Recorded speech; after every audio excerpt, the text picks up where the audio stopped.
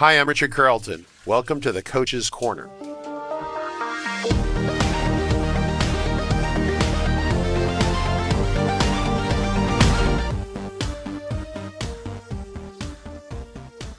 Hey everyone, my name is Miles Debski, one of the coaches here at RCC, and today I have a pretty cool tip for you guys.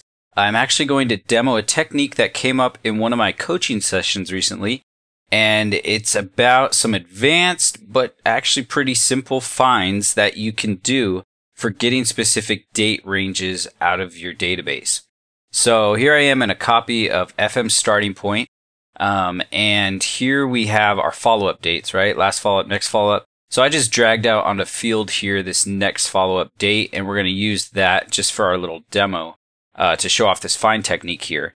And what my customer wanted to do was to find an easier way to find multiple records in different quarters, you know, like January, February, March, that would be quarter one, quarter two, four through six, etc., across multiple years. So they wanted to search on this date. So we know that if I just wanted to find all of my January through March, I could do, you know, January 2019 and do a range with the dot dot dot through March 2019 and I find these six dates here.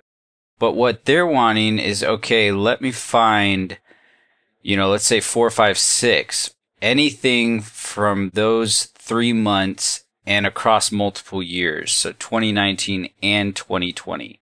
And so this is a pretty cool technique. It's the fastest and the easiest way to solve this problem. Instead of creating a quarter field and trying to track it that way, we can go into a manual find and on this field, insert this squiggly bracket here. We'll do our four dot dot dot six close squiggly bracket, then our date bracket, and we could actually do a range for the day also, but let's just do any day, so we'll give it an asterisk, then another normal bracket, and then we want two different years, so let's do 2019, and then range to 2020, close that, Let's hit our perform find and see what we get. 138 records. And as I start just clicking through these, you'll see we have anything from April, May, and June of not just 2019, but if I go to the end here, look at the, these are all June 2020. So we searched across a range of months and years, and we could even take one step further if we want to, and also do a range for that day pretty cool function finding on date fields. And yeah, that's it for this week's Coach's Corner tip. If you have any questions or interest in our coaching program, please send an email to support at RC Consulting.